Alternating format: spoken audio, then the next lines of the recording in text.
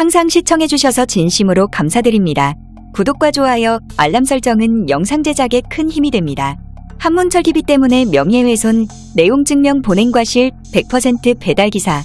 교통사고 전문 한문철 변호사가 과실 100%로 결론 난 사고 당사자인 배달 기사로부터 내용 증명을 받았다는 소식이 전해졌다.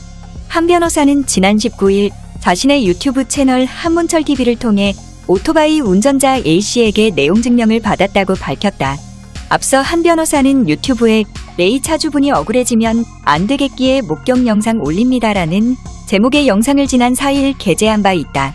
이 영상은 사고 목격자가 한 변호사에게 제보한 것으로 지난 7월 29일 경기도 광주시 오포 문영리 인근 사거리에서 발생한 사고 장면이 담겼다. 당시 A씨는 앞서가던 트럭을 추월하려고 시도하는 과정에서 중앙선을 침범했다. 이때 반대편 차선에서 정상 주행하고 있던 레이와 스치듯 충돌에 넘어졌다. 이 영상이 공개되고 며칠 뒤 한 변호사는 A씨로부터 내용 증명을 받게 됐다. A씨는 한 변호사가 올린 영상 때문에 자신의 신상이 만천하에 알려졌다는 이유에서 내용 증명을 보낸 것이다. 먼저 A씨는 사고 이후 상황에 대해 밝혔다. 그는 사고 직후 레이 운전자에게 정중히 사과했으며 본인의 100% 과실을 인정하고 사고 피해에 대한 보상을 해주겠다고 말하는 등 충분한 사후 조치를 했다면서 레이 운전자 역시 본인의 상의 여부를 걱정하며 상호합의 후 사건을 종결했다고 설명했다. A씨가 문제 삼은 것은 한문철 TV의 태도였다. 그는 한문철 TV 측은 사후 조치는 확인도 하지 않고 마치 재과실만 강조하며 아무런 조치를 하지 않은 것처럼 묘사했다고 지적했다.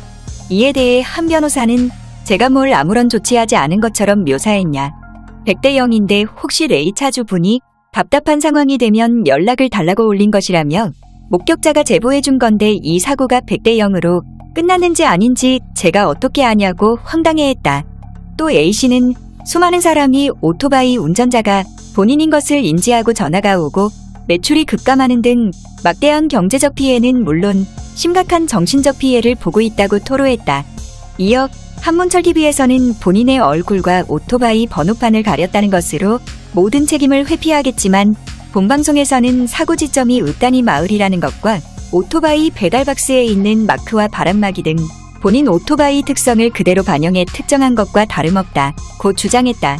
그러면서 한문철 TV의 실수로 본인의 명예가 훼손되고 경제적 타격을 입은 것에 대해 어떻게 생각하시는지, 어떻게 사후 조치하실 것인지 내용 증명 수령 후 5일 이내 성의 있는 답변을 작성해 발송해달라고 덧붙였다. 이와 관련 한 변호사는 내용 증명은 아무런 의미가 없다. 반드시 답장해야 한다고 생각하시겠지만 내가 이런 편지를 보냈다는 일방적인 증거일 뿐이다. 전 바쁘고 5일 이내 답장 보낼 시간이 없다고 말했다.